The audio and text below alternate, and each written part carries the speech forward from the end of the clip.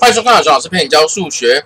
那我们上一集呢，最后有介绍到这一个问题哈，说四红五白六黑十五颗球哈，依次抽四颗。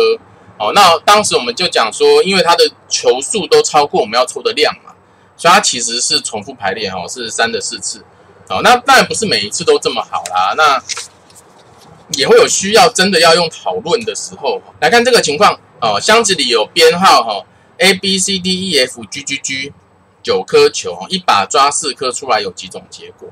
哦，那我在这里就预预告了，就是说它是要用讨论的，而不会答案刚好是什么乘什么乘什么，这样就是。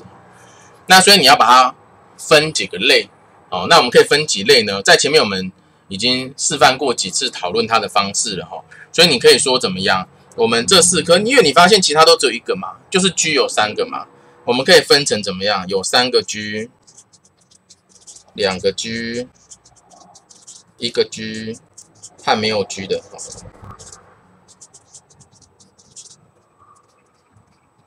那可以按个暂停，想一下，分别会有几种呢？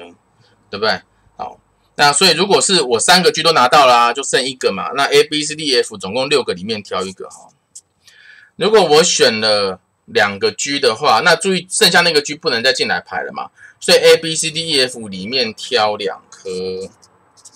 好，那如果是一个 G 的话呢？哦，挑三颗，四个 G 就哎没有 G 就挑四颗。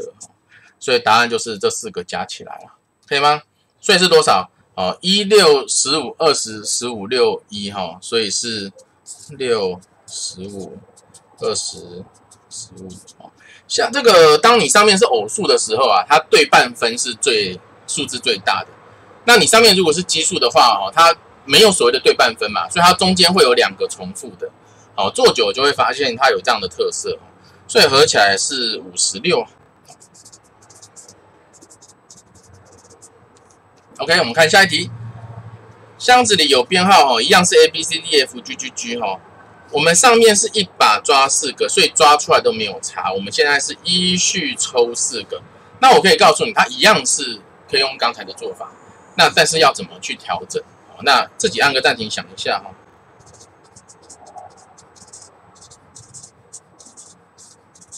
那我们最建议的做法其实是用上面的方式去调整，所以我会建议你把它都抽出来再排。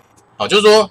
呃，如果你要用第一颗球，因为我四颗四个位置顺序是不一样的了嘛，那你要用第一个先抽的是 G 还是什么的，这样会讨论起来比较复杂。那所以我们全部抽出来。那现在是抽出来，但是没有排列。好，那这个它，但是实际上我们是要排的嘛，所以我们这个东西是什么样？三个 G，所以它是 G G G G 叉，哦，那个叉可能是 A B C D 其中一个嘛。所以它会是 G G G 哦，刚多讲一个 G 哦，差跟一二三四排列，所以是四阶除三阶一阶。如果是第二个呢？哦，第二个的话，它是 G G G 哎 G G 叉圈，啊，就一个叉跟圈分别是 A B C D F 里面的某两个不一样的，所以我们用不同的符号哈，那配上一二三四啊，所以它是四阶除二阶。那你会发现，就是说，它其实可以被写成是，呃，一个看起来好像比较漂亮的形式，就是所谓的 C 六取一乘 P 四取一，哈。，C 六取二乘 P 四取二，C 六取三没有错，这个是 P 四取三，哈，因为它会是四阶除一阶，然后这个是四阶，C 六取四。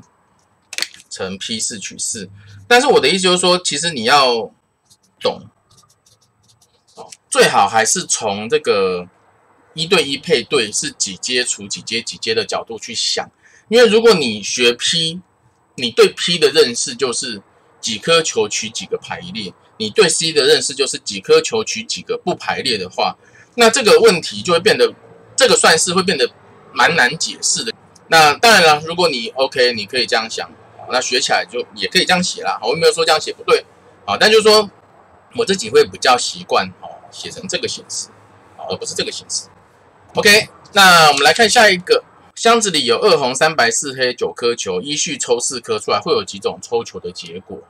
啊，不得不说有一些题目呢，它要找到更快速的写法哦，是需要经验，或者是你因为算的就是比人家快，所以你有那个余力哈，停下来不马上写，先看一下好像怎么写比较快这样子。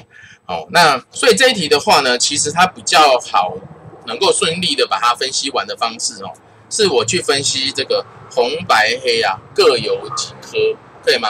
好，那因为黑球呢是可以有最多的，所以我们写黑红白，我们可以接受四零零吧，对不对？那不会有零四零哈，所以四集中在一起的只有这一组而已。那我们可以接受三一零吧。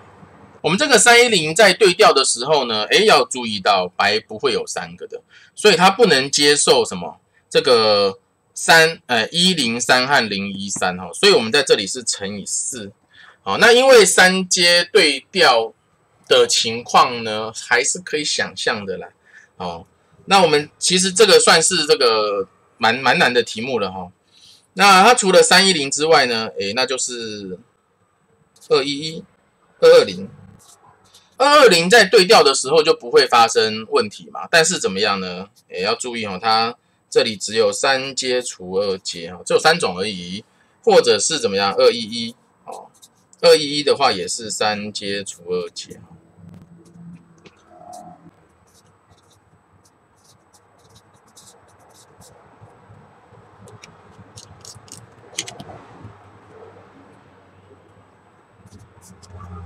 我们把它改成三阶减二哈，然后红球自己内部是没有东西可以排的哈，所以我们这样就讨论完了。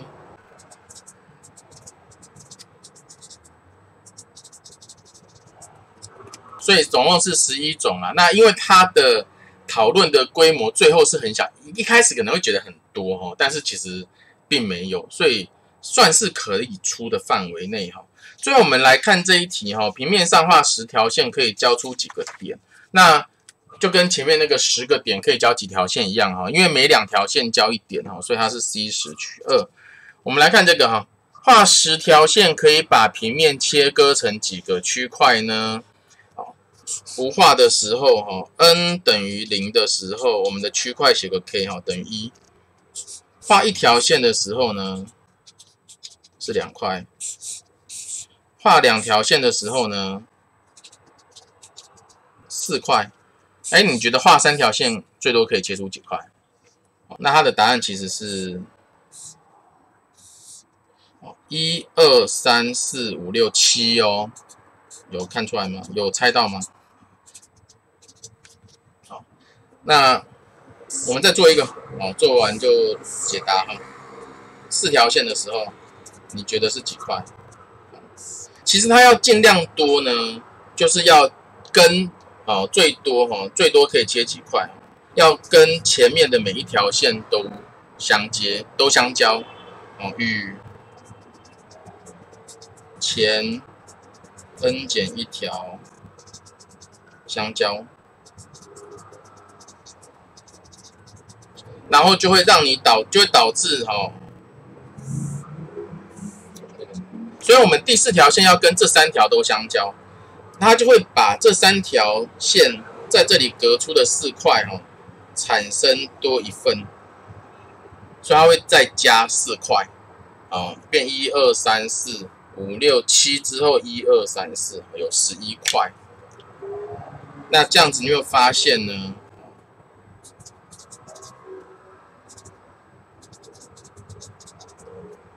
它其实在一开始是一块哈，然后一条线加一块，第二条线加两块，第三条线加三块，第四条线加四块。它的答案其实是一加上一加二加三，这个一是零的时候哈，然后加，所以你 n 条线会加到 n 呐，所以它画十条线的话会是一，然后一加加加加到十哦，一加到十是五十五啦，哦，所以这一题的答案是五十六。三位数字哈，里面有三的倍数的话，而且每一个数字都不一样，它这三位的数字都不一样的有几个？那在这里呢，这个教这一题主要就是要提供大家一个讨论三的倍数的时候的方法。三的倍数的特色就是它的数字和是三的倍数嘛，它有可能三个数字都是三的倍数，可以吗？我们在这里书写的时候，哈，我们按照这个余啊，余零、余一、那余二来分，这也是我们常常在讨论三的倍数问题的时候常常做的事情，哈，就是说你如果是各一个数字的话，哈，它余零有可能是三六九零。如果是余一就是一四七哦，余二是二五八。如果有在打麻将的人，就会觉得这这些数字很熟悉。为什么呢？因为打麻将的一种凑牌方式是把三个连续的数字凑起来。所以你想想看，如果今天你已经手上有三，比如说三万跟四万这两张牌，那你既可以等两万来凑二三四，也可以等哦那个五万来凑三四五。所以对你来说，二跟五是很是一组的，那如果你的这个打牌的对手，就你的你的下家哈，他曾经在你打出二万的时候不要的话，那他很有可能其实也不会想要五万，所以五万对你来说也是安全的哦。你们我们没有要教打麻将，我只是要说明说为什么这样子的数字在玩玩麻将的人嘴巴里常常出现哦。那所以这个。我们刚刚讲哈，三位数如果是三的倍数，它数字和是三的倍数，它很有可能是透过余零、余零、余零，三位都余零，也就是它可能是一个三百六十九，或者是三百零九这样子去产生的，它三位都是余零，这样它合起来就会余零嘛，就会是三的倍数。它也有可能是余一、余一、余一，或余二、余二、余二，一加一加一，二加二加二都会是三的倍数。也就是说，它可能是一四七，或者它也可以是这个八五二。那它还有一种可能是这个余零余一余二，也就是它可以是三百四十五，对不对？这样也会是三的倍数。好，那一个余零，一个余一，一个约合起来就余三，就整出这样子。好，那就分这四类去讨论。所以它如果是由四三个余零的组合起来的话呢？那注意，就是这个百位、个位、十位是不同的位哈，所以我们在这里会用到的是 P，或者你用连乘也可以哈。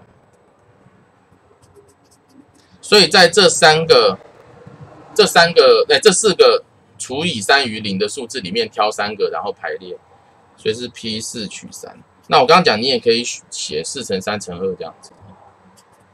如果是余一、余一、余一产生的，就变三阶。那二五八就是说，因为它一定要全用上嘛，因为它总共也只有三个会余二，然后它又要每个数字都不一样，所以它就会全用上，也是三阶哦。所以一刚刚一的这个也是啊，因为它全用上，所以一四七就是自己挑一个位置放。那如果是零一二呢？诶，这比较特别，我在这四个里面挑一个就好了，这三个里面挑一个就好了，这里三个里面挑一个就好了，对不对？那当然你也可以看到，你有可能看到算式写 C 四取一啊。啊就四个里面挑一个嘛，然后 C 三乘 C 三取一乘 C 三取一这样。这个是四啊，这个是六，这个是六，这个是九四三十六，所以最后的答案就是